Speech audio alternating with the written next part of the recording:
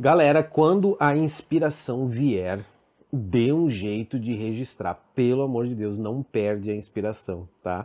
E a inspiração vem assim, né? É um refrão que veio, é um riff, é uma ideia de arranjo, é um, uma frase só, tá? Mas aí você pega o seu celular, tá? Pega o seu celular, abre a câmera e canta para a câmera, tá? Canta, canta para a câmera, toca violão assim para a câmera. Olha esses vídeos aí que eu vou botar agora aqui na tela rapidinho para vocês. Olha esses vídeos toscos, tá? Que você tá vendo aí. É quando vem uma ideia e eu abro aqui a câmera do, do celular e gravo tá? Por quê?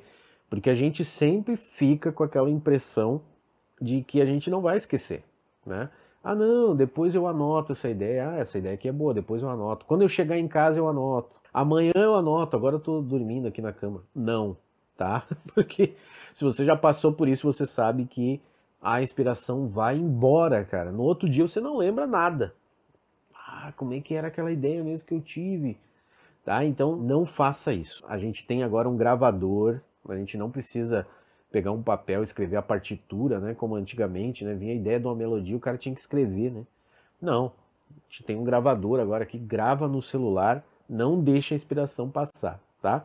E aí vai guardando isso num local, numa pasta no, no computador ou no Google Fotos, enfim, tá? Organiza aí uma maneira é, de arquivar essas boas ideias, porque quando você for compor, você acessa essa sua biblioteca aí de inspiração, tá?